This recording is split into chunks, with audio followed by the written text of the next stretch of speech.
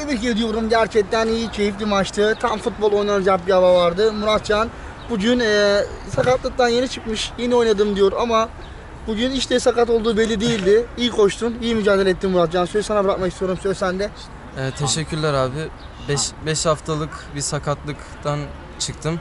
Ee, gayet zorlandım. Yani dizimi bükerken zorlanıyorum aslında. Koşarken falan sıkıntı yok. Ee, takımım da çok iyi oynadı. Herkesi tebrik ediyorum. Ee, teşekkür ediyorum herkese. Ben, bana da çok destek oldular sakatlığım boyunca. Artık gollerimle geri döndün mü diyorsun artık Muratcan? Bir dahaki maçtan nasıl kendini iyi hissedebiliyor musun? Kendimi iyi hissediyorum. Bugün fazla ileri çıkmadım. Sol bek oynadım ama e, sol bek mevkim ama stopere daha yakın oynadım. Bir tane de çizgiden çok top top çıkardım.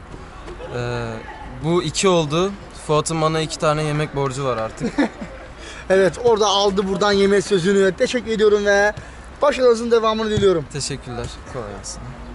Evet e, Güney ile beraberiz. Güney arkadaşın sakatlıktan çıktı. Ama sen de bugün çok iyiydin gerçekten. Söz sana bırakmak istiyorum evet Güney. Vallahi abi takımımı tebrik ediyorum. Çok iyi oynadık, çok iyi koştuk.